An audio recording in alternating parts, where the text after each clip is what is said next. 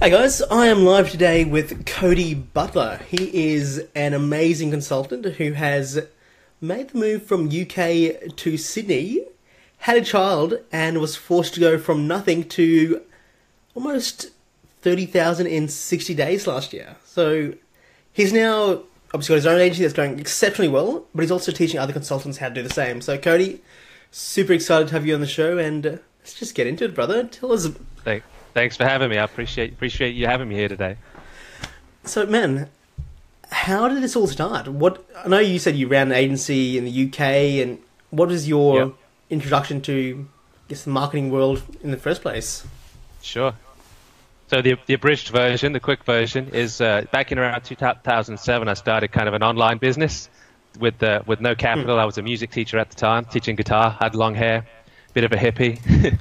Decided I wanted to make a few few bucks, right, and making it online seemed to be the way to do it. So I started an online business. Uh, had no budget whatsoever to market it, so I had to kind of learn learn the, the, the tricks of the trade myself. So I got pretty good at SEO. I got that business. Uh, I was getting like a thousand visits a day to that to that to that website off the SEO that I was doing. And it was pretty pretty successful. It was a pretty good result. So my my fiance, well, my fiance at the time, my wife now, she's Australian. I, I'm English. We were both in England, and uh, her visa was coming to an end. So we wanted to get married, and we applied for a, a marriage visa. And they said that I had no demonstrable income. I had to get a job to do that. So uh, I kind of like scratched my head a little bit at that point, and just kind of looked at what marketable skills that I have, and uh, just went to Craigslist and see what jobs were advertised, and there was there was a job just down the road from me for an SEO SEO exec. So uh, applied for it, went there the next day, and then you know 24 hours later they hired me. Pretty much, I started working the next day, and it's like I, I was terrified, man. I showed up for the first day at work, and uh, I almost almost walked out. I was so out of my depth, it was unreal. So I just uh, I told them I said I, I want an, an office uh, a, a desk in the corner of the office because I like to work quietly. So I could turn my screen around. So I was googling the answers to all the questions everybody was asking. but uh, that that was my introduction to, uh, to to marketing, really agency life. So Oh man, that's Uh, brilliant. I did that for a, about a year. Uh, saw the money that was involved in the agency, saw the kind of clients that they were getting. I just thought, look, I, I can do this myself. I don't know why I'm working for these guys. So start, started my own agency in the UK and got that up to around, it took me, I think, around 18 months to get that up to about 100, 180K, something like that a year in revenue, which was pretty darn good for me at the time. Uh, I guess the big question here is how. That's what Yeah. people are wondering. How do you manage to grow that big so fast? uh, I'm, I'm motivated. so, so the answer to that is, is is to be perfectly honest with you. There's only really two reasons why people wouldn't buy from you. That, that everybody who is in the consultancy space, the digital marketing space, knows that the desire and the demand in the marketplace is absolutely massive for what we do. It's huge. There's only two reasons they wouldn't really buy from you, and that's there's they don't believe that you're going to do what you say you do, or there's too much risk. Those are the two reasons they wouldn't buy from you. So the way I overcame that was with just a super, super good guarantee, basically. So hmm. I came up with a money forward guarantee, which basically said, hey, I'll work for you for 30 days. It is chargeable, it is chargeable time, but at the end of the 30 days, if you're not 100% satisfied, you don't even get your money back. You don't even have you don't even have to pay me. So it's not even a money back guarantee. It's like you just don't pay me, and, and we end the relationship friends. So when you put your money where your mouth is like that, and you offer to hmm. show your value before you take payment, then a it's it's very hard for them not to believe that you're telling the truth, and b it reverses that risk as well. So it overcomes the two major objections, which is I don't believe you, or there's too much risk. So on the back of that guarantee, I was able to build that business up just very, very quickly indeed.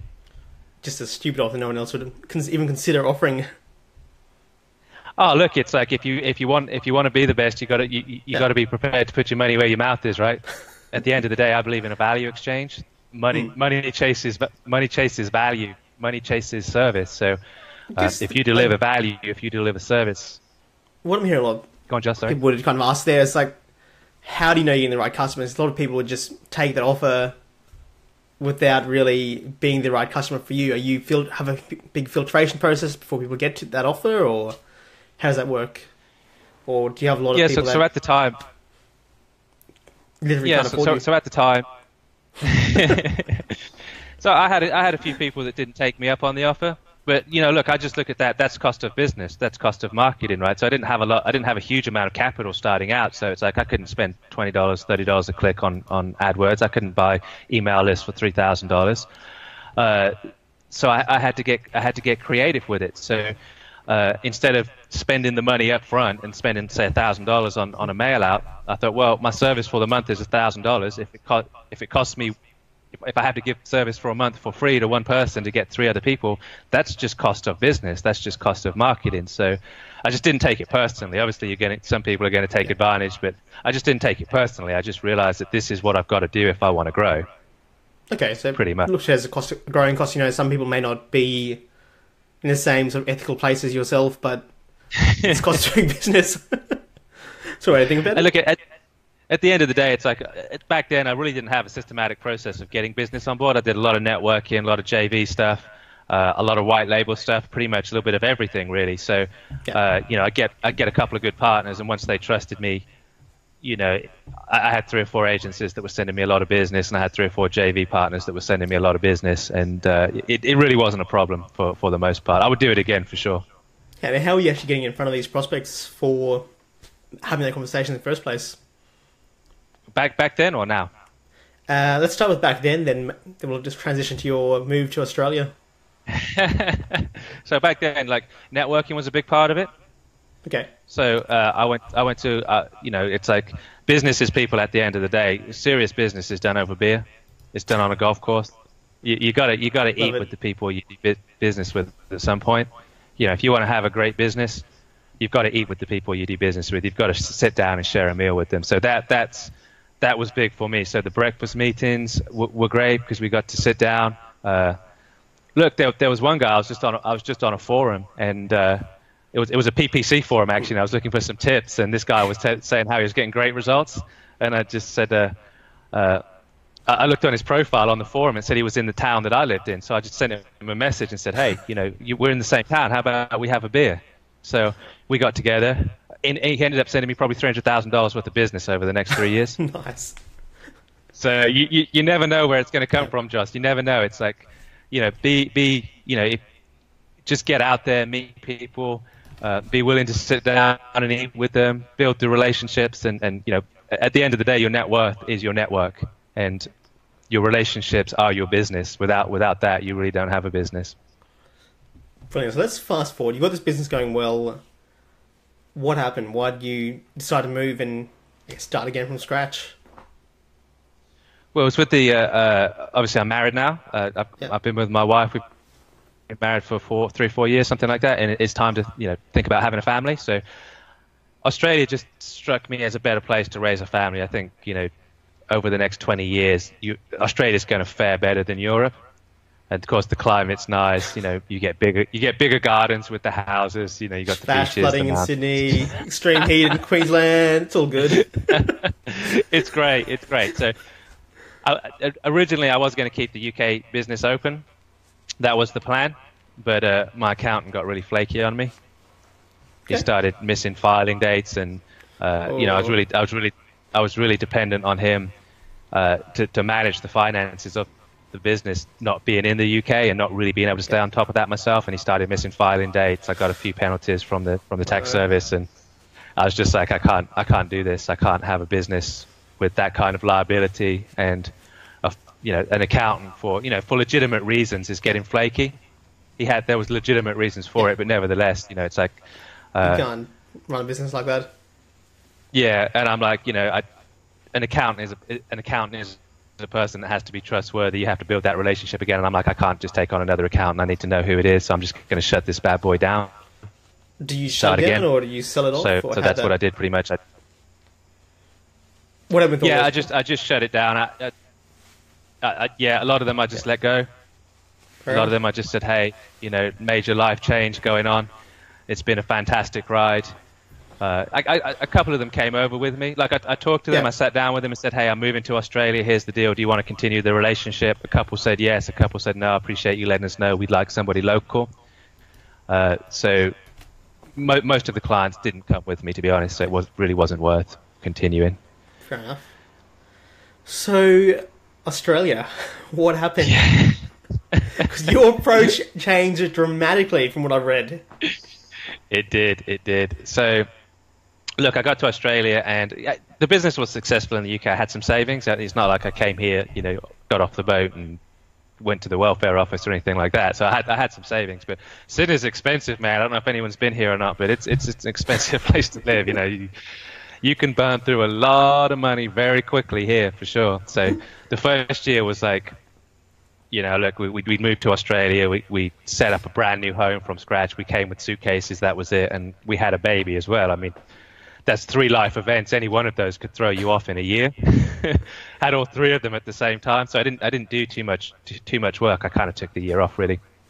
But then, you know, come January time, I just went into panic mode. And I'm like, my goodness, I've, I've burnt through 100K in the last 12 months. I've got a baby. I haven't really got an income we got to do something about this. So the alarm clock, the alarm clock got set four hours earlier. Uh, you know, the, the, the work day is extended, and uh, I was just like, look, I've got to get clients. I've really got to get some clients seriously.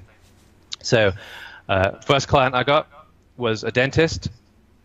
Got him some results very, very quickly.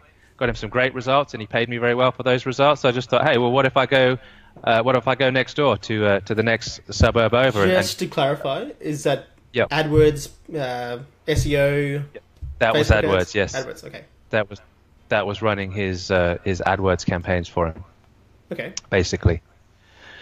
So got him great results. He was very happy. Paid paid you know pretty pretty darn good fee really. So I just thought, hey, is this replicatable? If I go to uh, a dentist in the next suburb over and I show him these results, would that help? So help like help like crazy, as you can imagine. I just went and said, "Hey, you know, I'm working with a dentist in the next suburb. These are the results. Do you want some of that?" And he said, "Yeah, absolutely." So, uh, took him on board. Similar results. So then I'm like, "Wow, this this is you know, once is an anomaly, two times is a scientific law." so I'm like, right, you know, we got to scale this thing. It, it, at the time, you know, we got a great campaign. We're getting great results. These seem to be a good client base. Let, let's let's go big with this. So I started a direct mail campaign started approaching people specifically on LinkedIn, offering very specific services. And, and that's where it really happened very quickly. I ended up getting the 60, uh, 18 clients in 60 days. Uh, price was really steadily increasing throughout those 60 days to where in the end, you know, I was probably charging double what I started at the beginning and people were still very happy to pay that.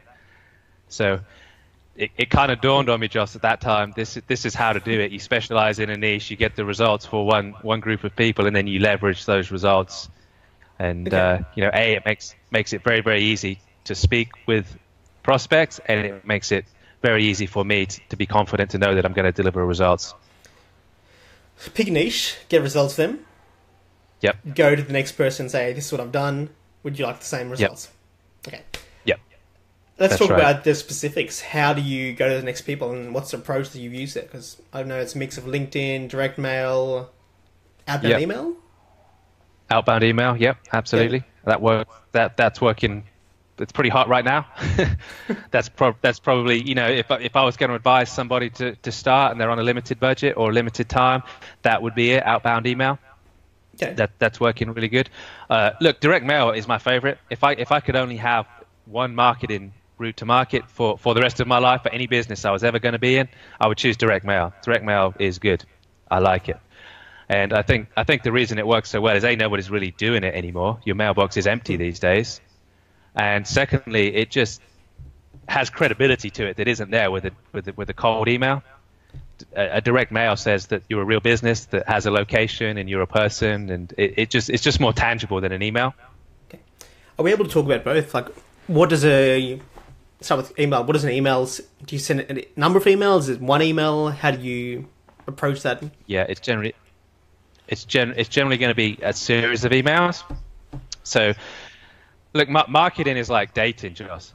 It's like people immediately ask, you know, the, the, the date to marry them, and it's like, whoa, back up no. a second. I may have married you, but not now. No, now you're the freaky guy. so like, exactly. Now you're the freaky guy. So, look, the first the first contact is designed to create curiosity The second contact is designed to create interest. The third contact is designed to create desire. And the fourth contact is designed to transfer funds. So we've got to take curiosity to interest, interest to desire, desire to transaction. So that, that can't be done in one email. Yeah. So, you know, your first outreach, whether it be on Facebook or direct mail, it doesn't matter. You just want the person to be curious. Okay, I'm curious. You've got my interest. You've bought yourself another sentence. You've bought yourself another email. You've bought yourself another minute, you know. And then the second email or, you know, whatever it is, is designed to turn that curiosity into interest. To where they're like, okay, yeah, I've, you've got my attention now. I'm listening. The third contact is, I can see how this can work for me, and then you know, get those greed glands going, basically. get them. Would you be able to give something more specific, like in terms of how that email is structured for uh, whatever industry you can think of? Yeah, so so basically, I mean, again, it's like I mean, the, the, the specific details. I mean, I do offer training on this, Yeah. and, the, and the copy and stuff like that is is going to be is going to be covered in that. But you, Okay. generally speaking, the, the, the, the first the first email is like it, it, it's almost a hypothetical. It's like, if I could do this for you, would you be interested? It's not, it's not making any promises. It's not it's not hmm.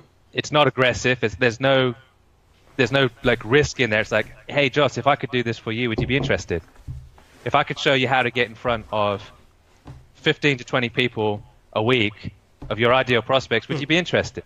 Is that something you'd be interested in? So, who's going to say no to that? So, but there, there's no there's no buying there. There's no selling. There's no there's no pressure. It's just, you know, hey, are you interested? Curiosity. So then the answer to that question is yes. I mean, is that is that email Yeah. easy or hard to say yes to? Low commitment barrier type thing. Yeah, it's it's very easy to say yes to, and it's very hard to say no to. If I could show you how to get in front of X number of clients each week, would you be interested? Whereas if I say, hey, would you like to hire me as a business consultant? Easy or hard to say yes to?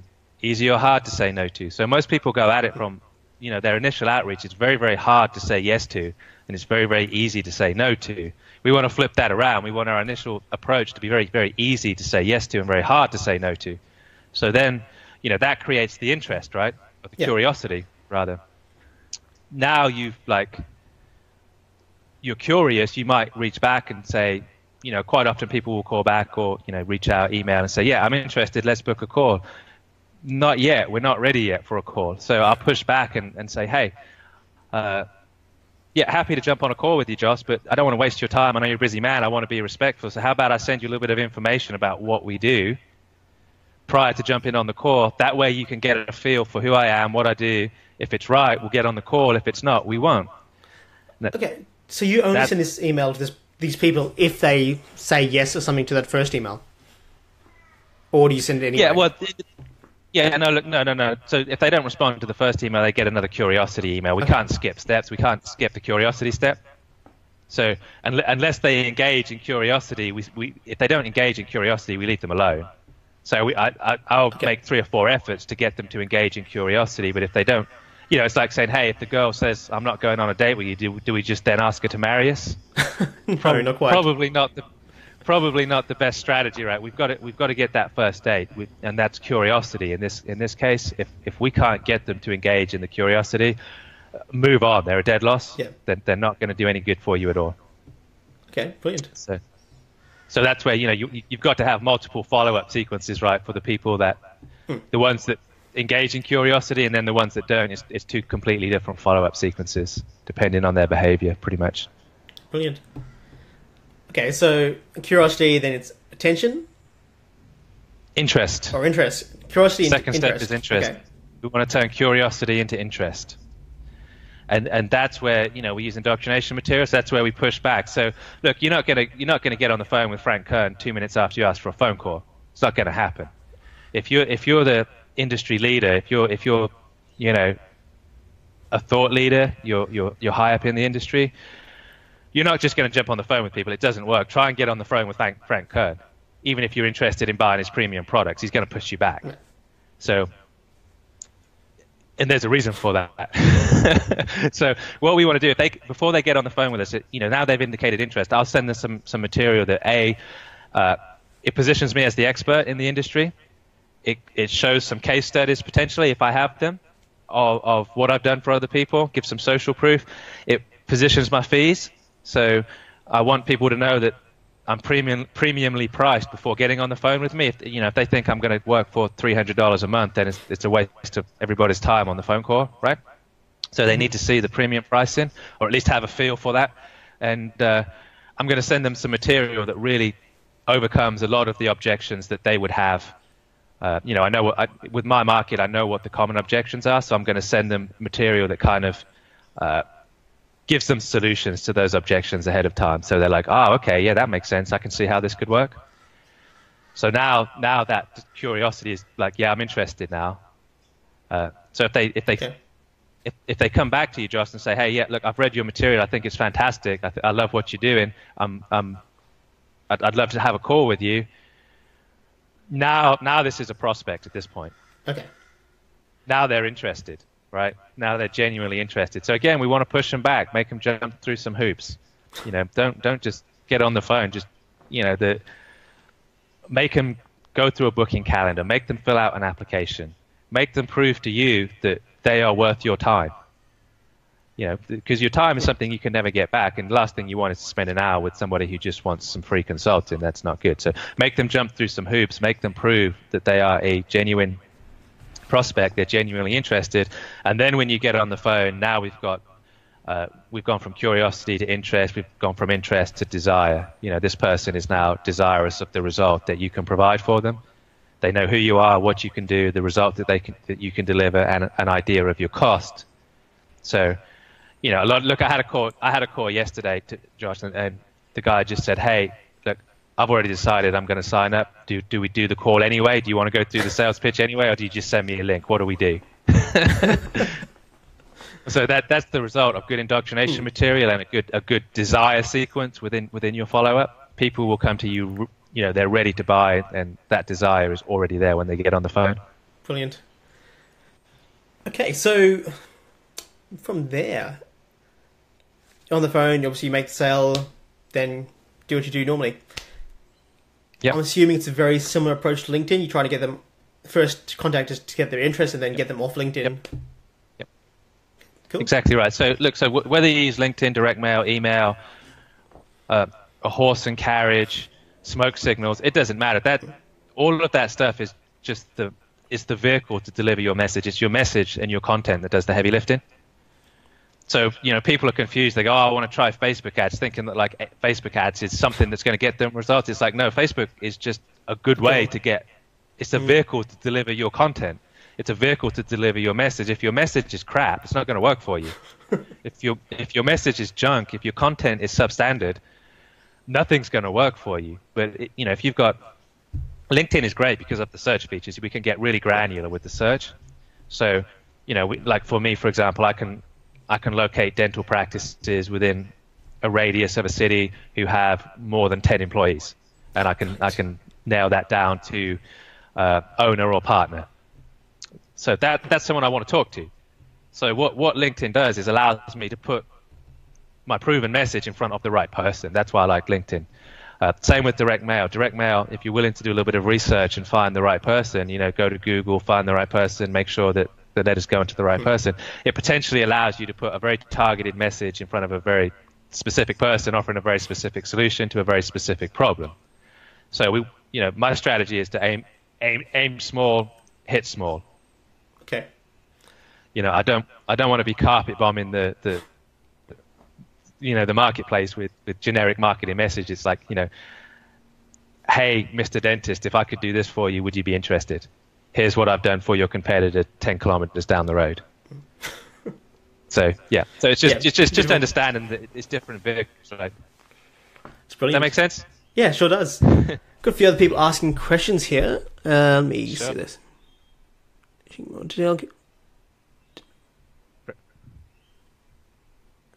Okay, sorry, he's just said that. How do you get clients on pipeline? Blah blah how do you measure when you're initially getting started? How do you measure that the clients were hundred percent satisfied? Is that just them saying, "Hey, I'm satisfied," or do you set metrics with them initially?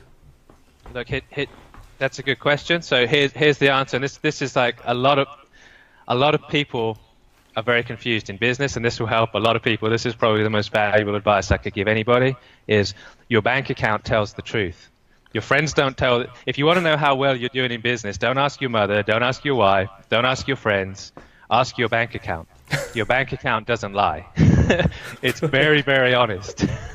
so um, the way I measure satisfaction is do they do they pay the invoice on a monthly basis? So I'm not cheap. You know, I, will be upfront. I'm not cheap. My services are not cheap, but they are quality. So, you know, that's what I'm looking for. I'm looking for somebody that, that to work with people that want the best. They understand the value of that and they're willing to pay for it. And the, my measure of am I delivering is do they continue to pay my invoice on a monthly basis? because the kind of people that I'm working with, they're not dummies. If you're not delivering value, if you're not give pe- people don't get to be multi-million dollar business owners by being silly with money. They get they get to grow to that size by understanding that for every dollar they give, they've got to give two back. They've got to get two back. So pretty much, I ask my bank account: Is this client satisfied with my work? Is this client happy? And and and that that's how I do it. Yeah.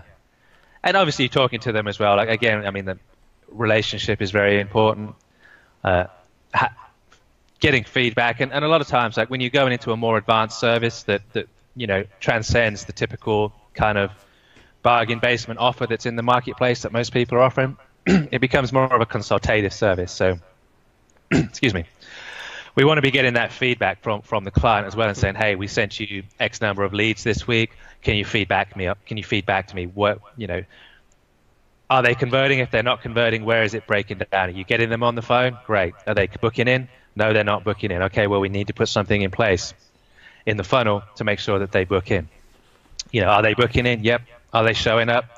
No, they're not showing up. Okay, well, we need to incentivize the show up. So we've, we've got to be getting that feedback from, from the client on an ongoing basis. And when you build that relationship like that and you're working a bit more closely with the client, then you just kind of know if they're happy or not. Brilliant. All right, mate. Um, I want to ask you next. What is it that you answer so many questions in such a short, short period of time? What has it been the most, I guess, pivotal, um, most important lesson you've learned along the way? It's don't be afraid. You, you've got to believe in yourself. You've got to believe in yourself, and you've got to back yourself. So look, if you if you're not prepared to offer a money back guarantee, you're basically saying I'm too risky to invest my own money in. So what what kind of message is that sending to the client, right? If you say, well, no, I'm not willing, to, I'm not willing to put my own money on the line to back my own work, and they're like, well, you expected me to put my money on the line to back your work. If you're not, if you're not, you know, to go back to the beginning of the, the conversation, it's like a great guarantee is the basis of rapid growth. That's the basis of it, in my opinion, in my estimation and experience. And if you're not prepared to back yourself, if you don't believe in yourself enough to do that, then why should the client believe in you? If you're not willing to take the risk or a good chunk of the risk when it's your what you know what's behind the curtain, you know what you're going to deliver. And if I'm not willing to take the risk on me at that point in time, why should the client invest in me? If I'm not prepared to invest in myself and believe in myself, why should the client invest in me? And at the end of the day, they don't know you from Adam all, all, all they have to go on really is some some case studies and some words that may or may not be true. At the end of the day, they don't know, mm-hmm. and the the level of confidence that you exude when you pitch your service, when you talk to them, it's it, it comes down to the level of confidence that you exude, and the uh, you, you can't fake that. You either believe in yourself or you don't. If you believe in yourself, they'll believe in you. If you don't, they won't. I just had the funniest comment here from Josh I was meant to have a call with Cody yesterday. I cancelled on him. Sorry, Cody. Yeah, that's all right. Love it. So we'd we'd have covered a lot of this stuff on the call anyway. Anyway, Josh. So uh, this is kind of the stuff we talk about on the call. It's just a little bit more specific. So that that's all right. It happens. It happens. I had, I had, a good day. Yes, I had a good day yesterday without you, Josh. That's all right. so, what are you most excited about now, Cody? What is it that got you fired up? What is it you're looking forward to? What's the next big challenge? It's it's the coaching. It's the coaching. Like the the agency changes my life. The coaching changes everybody's life. So it it you know it's like I I can impact my life with my agency. You know, and my clients as well, like the yeah. dentists and stuff like that. But it's like you know I, am working with people now that uh, literally changing lives. And, and to be fair, they're changing their own lives. I'm just giving them I'm just giving them some information that will help do that. You know, I- you just know, fast one's tracking the process, really. If the people Just are, fast track. if people are Yeah, yeah. got that grit Yeah. or whatever you want to call it, they'll get there eventually. But you're just giving them the tool sets that you've learned from That's exactly painful right. experiences of not having done it the wrong way. That's exactly right. You know, I've got a, I've got a private Facebook group, and and uh, you know, people in there go, they just go, oh no, I messed up, I did this, and it's like, it's all right. You know, how do you think I know how to answer this question? I've blown many a sale, I've lost many a client. It's like it's all cost of doing business. But yeah, look, no, I, I really enjoy like you know working working with people and seeing them. Uh, seeing their lives change and stuff like that. And I've got a lot of people that are in my situation. They've got young families and, and they just want to do right by their families. They just want to provide a better life for their for themselves and their families. And you know, having those stories come back really fills me with joy. And I've, I've always wanted to look from from the very beginning. I went to a Tony Robbins seminar in like 2007, and I wanted to be Tony Robbins. I wanted to sell from the stage, and, you know, do that coaching stuff. And it's hmm. like that's that's never left me. But at the end of the day, you've got to have you've, you've got to have the experience, you've got to have the track record, you've got to have all of that stuff behind you. And it, it's taken me 10 years to get to the point to where it's like, right, you know, this is legit. Brilliant. I, I, could- uh, this is legit now. Awesome, mate. Well, it's been a pleasure having you on the show. So, if people want to connect with you and learn more about your coaching or just start experience, what does you do? I know you've got a brilliant option sequence that people can go and see some of your stuff. Can you just, what's the best place for them to visit or connect with you on? yeah, so so uh, CodyButler.me. There's there's some links on there to where you can sign up for some free stuff. Yeah, like you know, I really pride myself in my free content.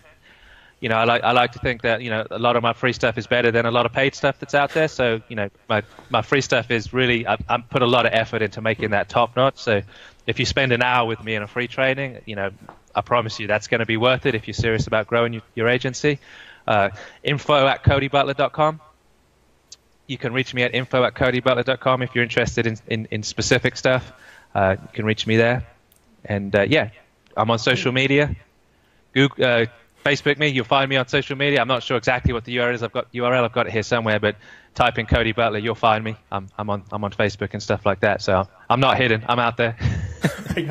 If you have any more questions, please leave them in the comments. I'm sure Cody or myself will get through to them later. And again, please give Cody a massive thanks in the comments. He's been very generous with his time here today, and I just want to say thank you for joining us. And guys, later today we'll have Ari Meisel joining us on the show, so that should be a bit of fun as well. Alright, until next time, we'll see you all soon.